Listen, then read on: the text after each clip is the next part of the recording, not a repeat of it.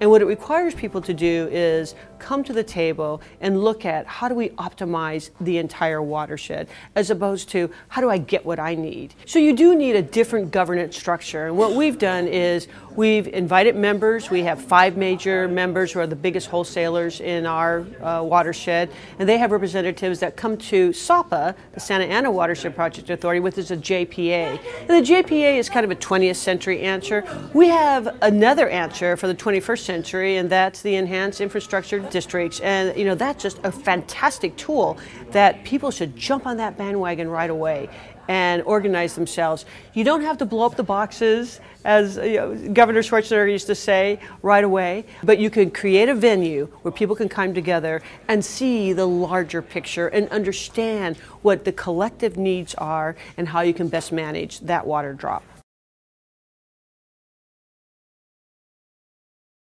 You know, I, I think the underlying message is just how intertwined water and the economy are.